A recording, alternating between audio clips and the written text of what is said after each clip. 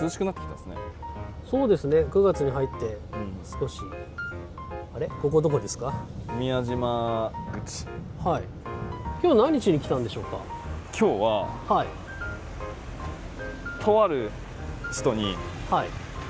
お金を渡しに来ました。どういうこと？いやなんかね、はい。高校生？なはい。のかな、そのチャリティーコンサートみたいなのをほやるけうはい。あの出資してくれんかと。なるほど。っていう手紙が来て、手紙？そう。でやり取りして、はい。自分らでこうイベントをやるんで。へえ。で明日なんですけどあ本番はね。はい、うん。で今日準備今日から準備するってことで。はい。でなんで今日来たかっていうとはい。そのまあちょっと3万円だけ出してくれと。はい。でいろいろまあズームでミーティングしたりとかしてはい。分かったじゃあそれは出そうと。お OK ー。じゃあ出してやろうってなったんですけどはい。そのどっかで受け取打ち合わせとかで受け取りようみたいになったんではい。持っていく俺がっつって。まあ見たいし、おおなるほど、はい、ちょっとまあ行ってみようかなと思って、へえなんで今日朝始発ではい。始発の新幹線ではい。東京から来て 高校生に3万円を渡すために。交通費の方が高いじゃないですか。往復3万円以上するんですごいな。まあでもせっかくなら自分で届けた方がいいかなと思って、なるほど。まあ、状況も見たいし。はい。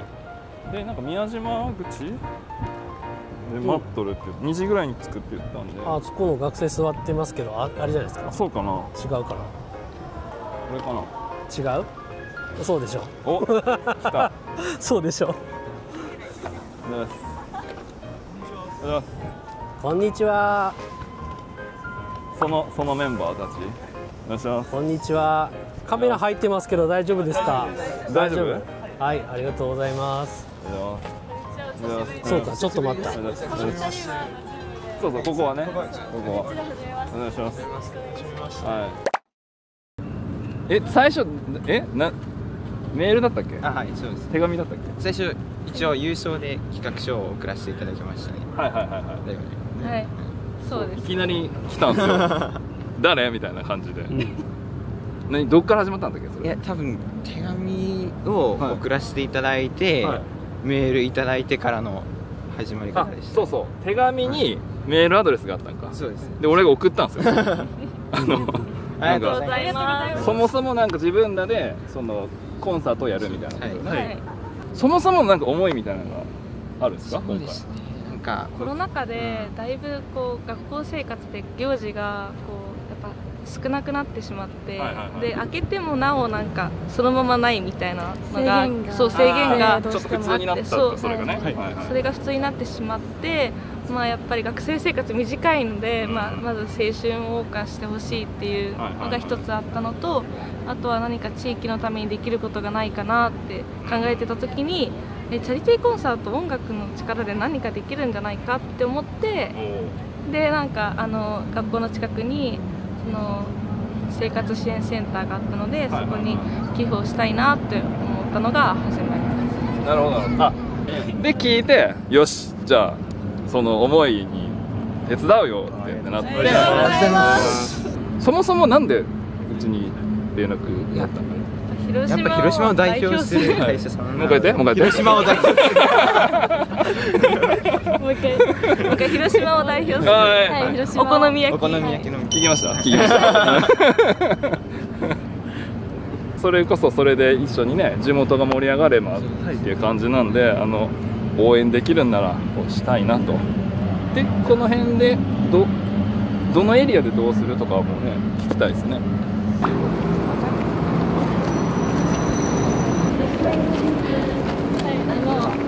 コンサートを開く場所はここら辺でそのフェリー乗り場の目の前っていうこともあって人通りが多いから、まあ、そういう目にとどまる場所がいいかなと思ってここら辺にしました、結構な規模でやるってことですね。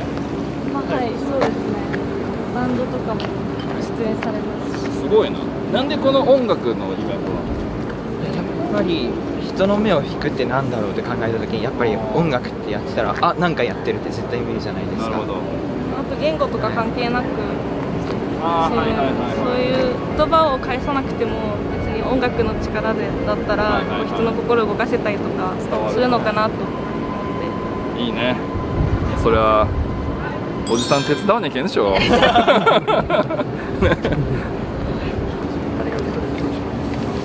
ょっと絵がバラバラになったけどはい。これをお渡ししたいと思います。いいですか？はい、はい頑張ってください。ありがとうございます頂戴しますあもらいました。明日頑張ってください。あと1日残りね。はい。じゃあ気合い入れて。い。きましょう。はい。はいお願いします。ありがとうございます。ありがとうございました来ましたよ本番当日。来ましたね。うさあやっているんでしょうか？ん。なんとなくね音が聞こえたんでいたいたいたほらお出とる出とるやってますよいろんなの出るね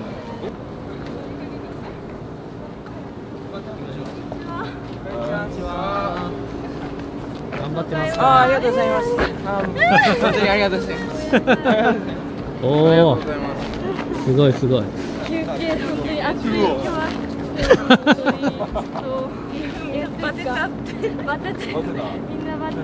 て。本当にもう暑すぎて。そりゃそうだ元気ないんですけど、まあ、一応今日無事開催できたってことで。ね引きで見とった方がいいですかね。ちょっと見ときましょうか、ね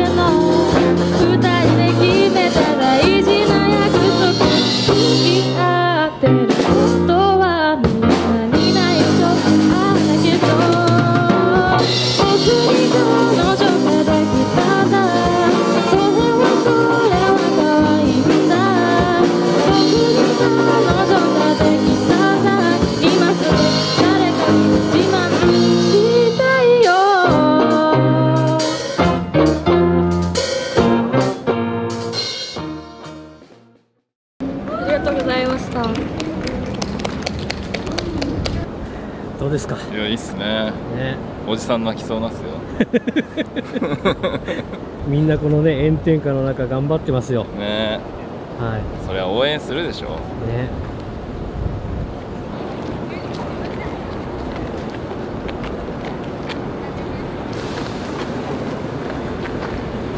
今日来てくれてありがとうございます。暑い中本当にありがとうございました。本当にありがとうございますすいませんちょっと最後ちょっと最後ぐだぐダで申し訳ないんですけどだにな ってしまったんですけど。もうちょっといいところ見せた本当にそうなんですよありがとうございました。暑い中ありがとうございましたいやいや本当暑い中ね大変な中お疲れ様でした。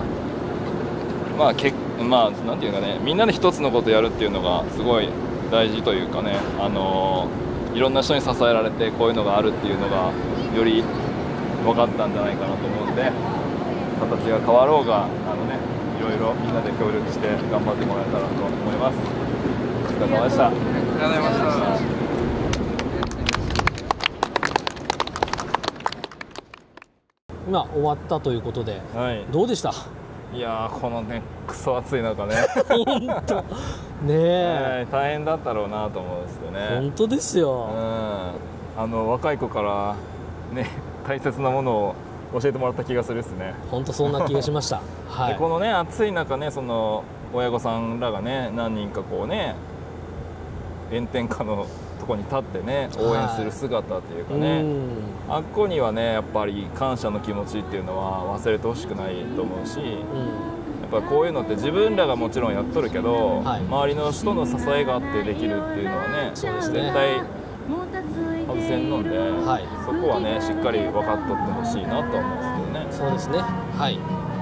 いやーなんかさ今回、はいまあ、手紙もらってあ全然知らん子らだったけど、ん。始まったんですけど。あうん。で、まあ、ちょっと応援する形になったじゃないですか。はい。これ他でもできないですかね。とというと？例えばこう同じようにはい。まあいろんな形あると思うんですけどはい、こう高校生とかうんいろんな形でこうねライブとか何発表会はい。だのなんかいろんな思い持って自分らがこうやろうとすることに対して、ね、おじさんは応援することしかできるので、うん。うん、なんかいろんな背中を押してあげれたらなっていう。なんかそれがこうね地元に対して応援につながったりとかもちろん地元じゃなくてもいいんですけどはい。可能な限り。うん。で僕もやっぱりその普段従業員でね高校生も大学生もおるんで、はい。ね、その子らの目線っていうのもすごい大事だし、うん。うんやっぱねなかなか生でこうね体験できないじゃないですか。今こうなるとね、うん。って思うとそのね高校生の子たちと触れ合ってねいろいろこうね相談されたりとかねアドバイスしてあげたりとかねができたんですごいいいなと思って、確かに。はい。うん、感動ものじゃないですか。でなんかいろんな事情でねこういう学校に行けないとかうん。なんかやりたいけどちょっとまだ力及ばず断念とかなんかやっぱいっぱいあると思うんですよ。はい。そういうのにねこうちょっとパス出せるんだったら意味があるかなって思うんで。ああはい。わかりました。じゃあもしねそういったお困りの方そして竹永社長に会いたい方 あの振るってですね、えーまあどんな内容でもいいですよね。全然いいです全然いいです。とりあ別に音楽である必要もないし。い任天堂スイッチ買いたいとかいいんですか？や思いが伝われば。おお 太っ腹。ただその分はい。やっぱね思いが聞きますけどね。そうですよね。いやそんなんじゃダメよってやっぱなるだろうし。わかりましたはい。でもやっぱりみんなで一つのものを作るみたいなのがいいんじゃないですか、ああなるほどね。うん、これが欲しいとかいうより、うん、まあでも個人でも全然いいですよ。いいですよね。うだから例えば学校で困ってることとかでもいいし、プライベートでもいいしん。あですね。家庭のことでもいいし、はい。い、ろんな何でもいいですね。うわかりました。んただこれでやっぱ取り上げたいんで、出れる人がいいですよね、ああじゃあ動画でうん。顔出し OK の方にしましょうか、まあ、最悪顔だけ隠すとか。ああもうもちろんモモザイクとかもねはい。かけれるっちゃかできれば出てくれた方がね。そうですね。わかりました。はい。じゃあそういった方ぜひですね、えー、とこの動画の概要欄にある、うん竹中社長の X もしくはインスタグラムではい。DM はお待ちしておりますというい、ことはいですね、みんなで一つのものを作りましょう。はい。お願いします。皆さんもよろしくお願いします。頑張って。はい。私なのだ。導かれた運命たどって今日も明日も生きてゆこう。